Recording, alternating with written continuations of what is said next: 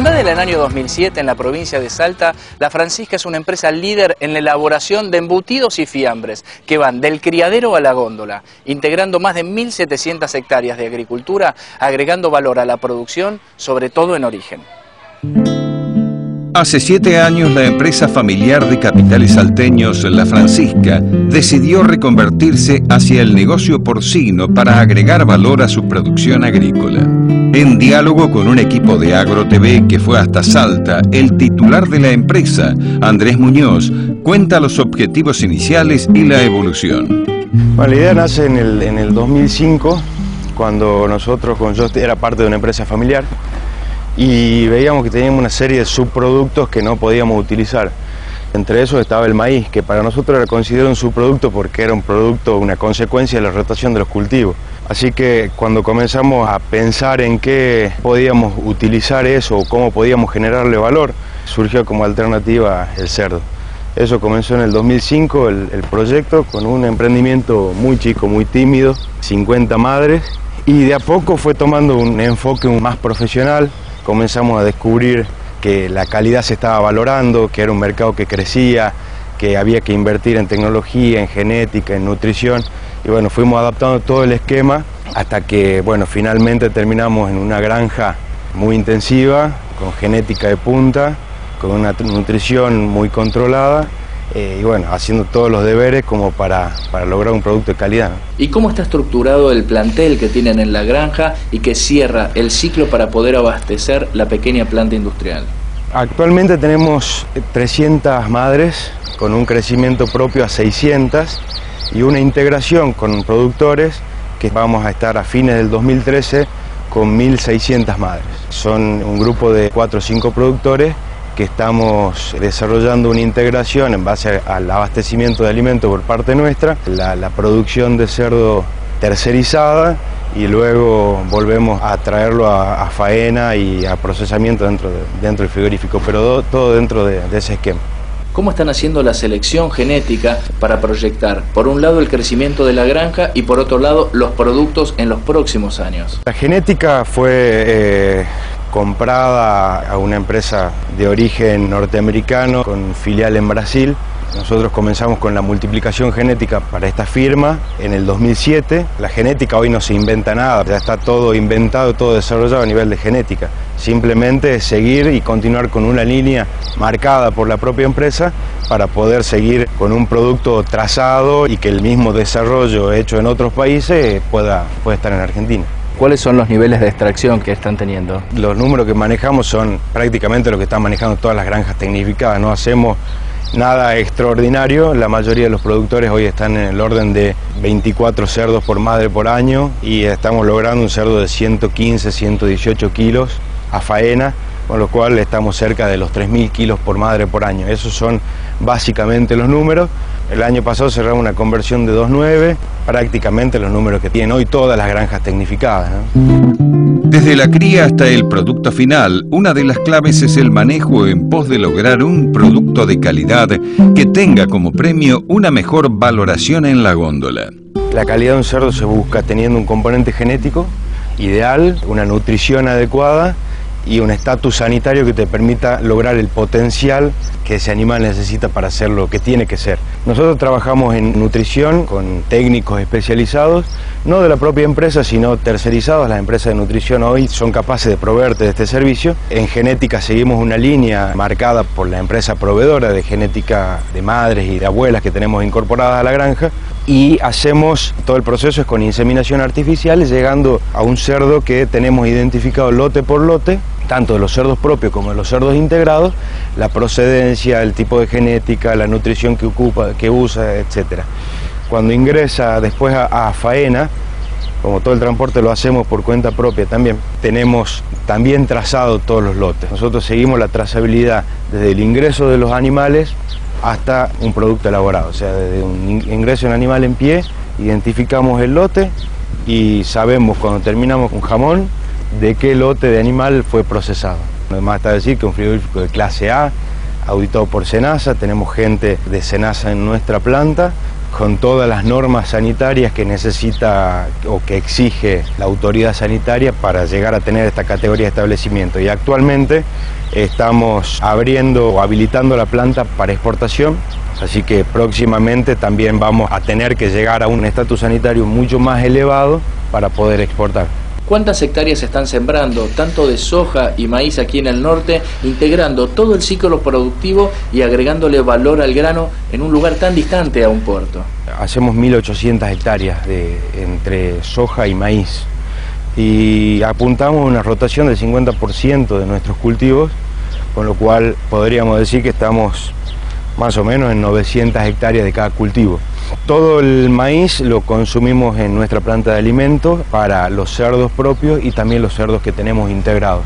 Y en la soja, hasta este año llevábamos la soja a puerto y después volvíamos con pellet de soja o expeller de soja como fuente de proteína y este año hicimos la inversión para ya procesarnos esa materia prima y podernos producir la proteína o la fuente de proteína del cerdo con un accesorio también en esa planta de soja para producir biodiesel, con lo cual estaríamos prácticamente cerrando todo el círculo porque esa cantidad de hectáreas nos permiten alimentar todos los cerdos que producimos, tanto propios como integrados, y a la vez pensamos utilizar todo este biocombustible o el biodiesel dentro de nuestro propio circuito para las maquinarias.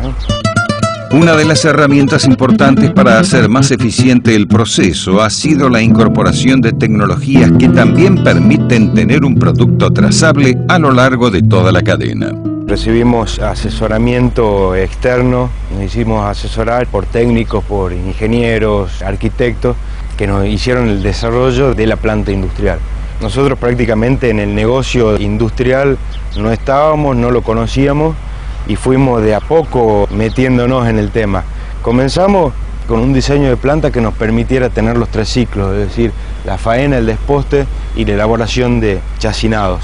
Pero cada etapa o cada ciclo fue evolucionando en tiempos diferentes. Sabíamos que los tres ciclos de producción, faena, desposte y elaboración, en algún momento iban a llegar y que ese era el futuro del proyecto, pero cada etapa se fue desarrollando en tiempos diferentes. Nosotros comenzamos con la actividad en junio del año 2009 y estuvimos seis meses haciendo solamente faena. De ahí comenzamos con el ciclo 2 con el desposte y comercializamos medias reses y cortes frescos.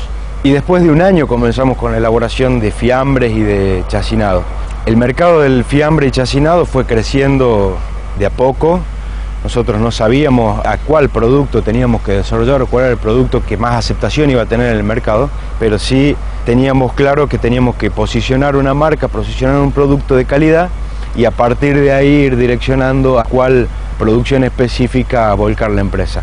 Así que hoy hacemos toda la línea de productos de chacinados, pero somos muy fuertes en lo que es embutidos frescos, tanto chorizo y morcilla, que acompañamos dentro de nuestro canal comercial con la carne de cerdo con los cortes frescos.